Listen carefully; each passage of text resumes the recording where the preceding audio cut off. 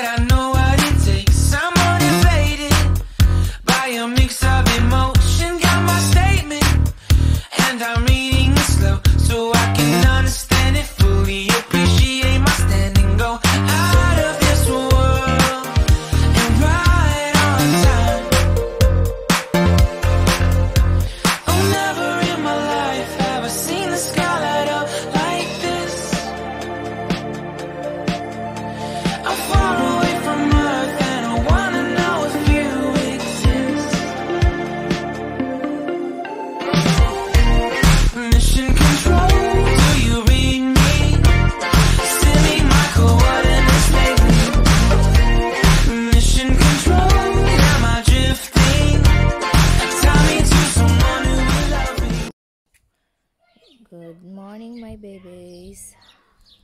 Happy Sunday, everyone.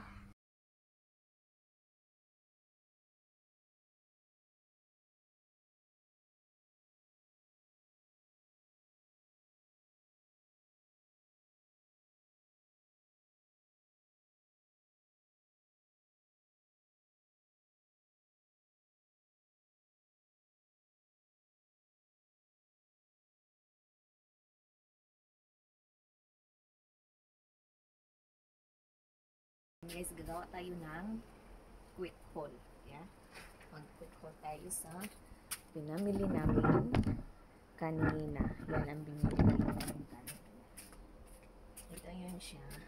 Ito yung um, dark purple. Yan. 5 pound to.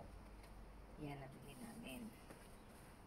Then, ito naman yung ano ba to? Ka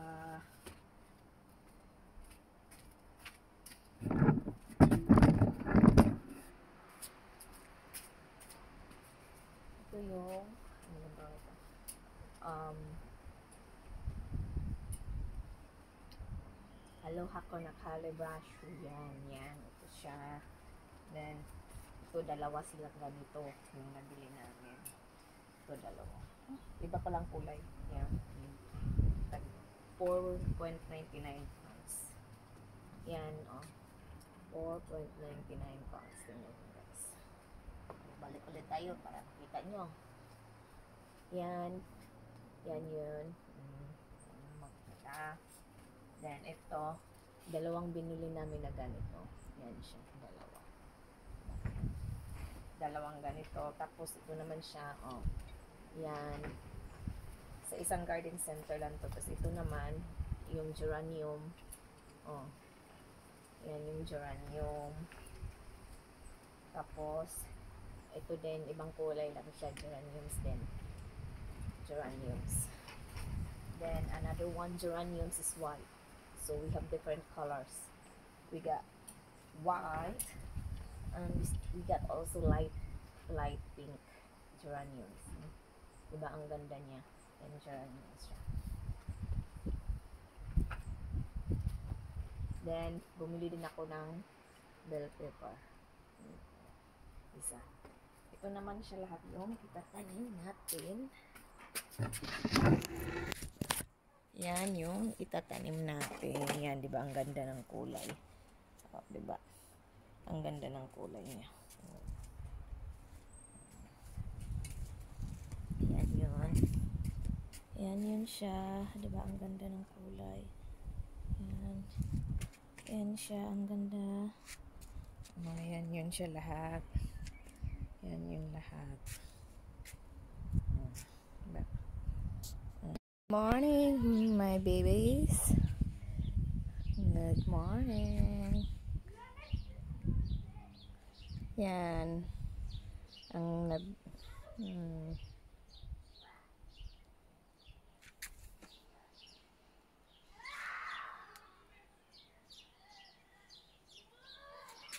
Yan siya. Ang ganda. Yan yung binili. Yan siya. Ito. Tapos bumili din tayo ng um, bell paper. Then fuchsia. Fuchsia. Yan. Yan yung fuchsia. Then ito yung geranium. Orange color. Then another geranium which is uh purple. Is that purple? Then we got white as well. We got white geraniums. Then we got light pink geraniums. Look at that. Then ito naman siya, ito yung para sa beadings ko. Yeah, 'di ba? Ang ganda din niya. Pitonia. Yan yung pitonia. Tapos ito naman siya si Aloha Nea. Yan, maganda din to para to sa basket. Para sa basket ko yan. Ito yung pitonia again. Yan, pitonia para yan doon sa beadings. Then, another para sa ano to basket. Then, ito. Yan yung lahat na nabili natin sa Squires Garden Center. Yan yun. Yan yun siya. Mm. Yan. Yan yan. Tapos itatanim natin to bukas or tingnan natin yung weather kasi bit windy. Yan. Mm. Tapos lahat ito guys is 48 pounds. All of this is 48 pounds. Lahat na to. Isang sa garden center, isang shopping namin ngayon is all is 48 pounds. Yan lang. We got 2, 4, 6, 8, 10. So, 10 flower flowering plants and one bell pepper worth of 48 pounds. Yan. Yan, hindi. I'm not sure kung magkano yan sa Pinas. Ito yung nabili ko sa Squires kanina. Ito yun siya. Ito yun. Mm. Lahat to tag 4.99 pound. Yan. Yan siya. Yan. Bawat isa nito 4.99 pound. Yan. Yan. Yan din. 4.99. Yan. Mas mahal doon yung garden center na napuntahan namin ngayon sa Squires. Mahal siya. Oh, ito yung geraniums. 3.99 pounds. 3.99. Yeah. That one. Yan siya lahat. Then, baka next day pupunta naman kami sa ibang garden center. Yan yun. Mm, So pretty. Diba? Ang ganda niya. Mhm. Inanom ko na yan, na, nalagay na siya ang pak choy. Yan yung pak choy. Oh. Diyan ko linagay lahat. Tapos ito yung chili. Yan, ang chili. Yan. Yan, then ito yung isang tomato ko. Yan, then chili.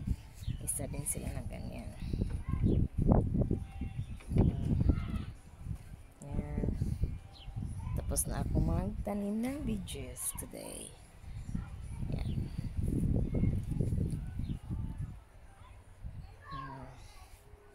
Yan, dinagdag ko dito. Yan, siya. Ito pala. Perennial.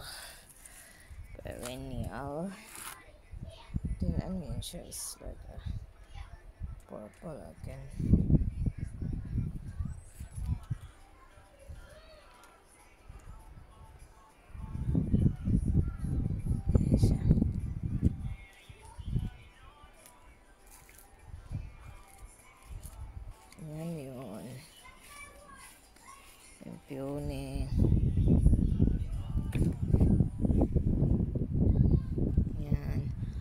Blue sky. Ang ganda ng blue sky. Yan, mga linabhan ko.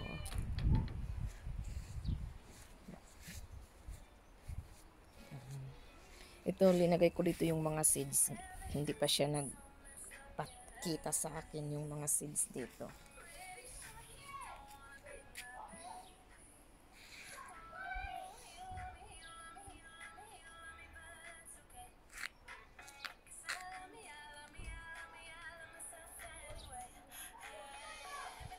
Already alright. Good morning everyone. ito yung compost natin na gagamitin natin dito sa basket ko, sa flowering basket. Ito, dalawang flowering basket na lalagyan ko. Tapos ito yung mga, ito yung mga flowers na ilalagay ko ngayon. Yan. Yan. Yan siya. Dalawa dito sa basket. Then, dalawa din dito. Yan. Maganyan sila.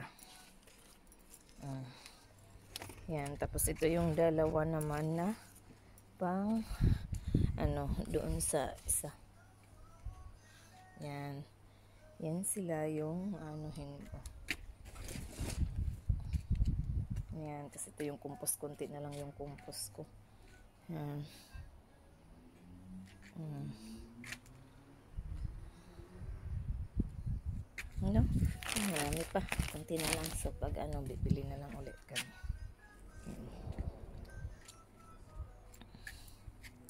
Yan yung mga chili.